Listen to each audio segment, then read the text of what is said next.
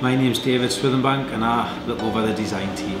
I helped a lot in researching the machine and also bringing the machine into the factory.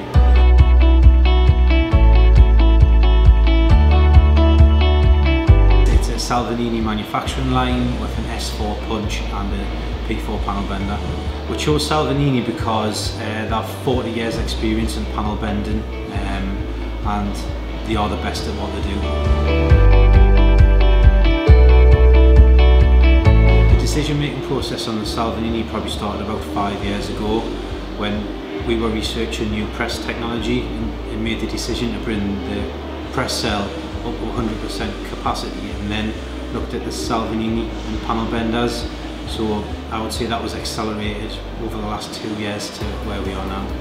The assembly started in November for the panel bender and then after Christmas the tower started going in along with the punch and then it was all linked in after that. I think I would say everyone was um, buzzing, um, curious because the machine came in in three Arctic trucks.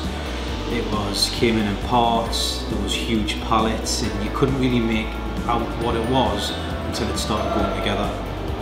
The machine's been up and running now, I would say, for about three months. Training's ongoing because um, there's, there's, a lot to learn on the machine, but we initially started training on our Optima systems, which ready to be run full line. We can process most materials from 0.5 to 4 mil aluminium, and we can also run brass, stainless steel, and Corten and mild steel. The, the future for this machine for us is basically our service to our customers we can offer a better and faster service.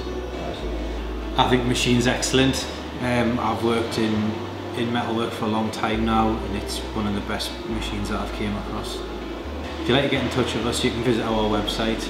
Um, you should find all the information on our processes there.